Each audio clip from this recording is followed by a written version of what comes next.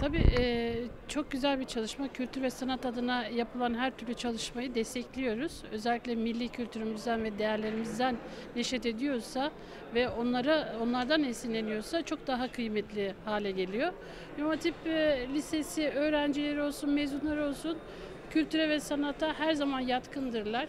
Çünkü gerçekten e, e, insanlara hediye edilen en büyük e, bence sanat Allah'ın sözü olan Kur'an-ı Kerim'dir. Onu okumak, onu anlamak, ondan esinlenmek, ondan tekrar bir şeyler üretebiliyor olmak e, dünya için, insanlık için çok kıymetli. Bunu hem yaşayan e, bir e, kültür haline getirmek hem de sanat eserleri üretmek bence İmam nasip olan bir ayrıcalık.